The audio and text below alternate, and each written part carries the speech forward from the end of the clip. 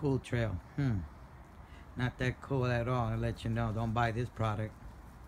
This is one of these hoverboards, cheap model, under 200. Problem with this, this this product, this didn't burn. The charger caught on fire. When they made this product, let me open it. That burns.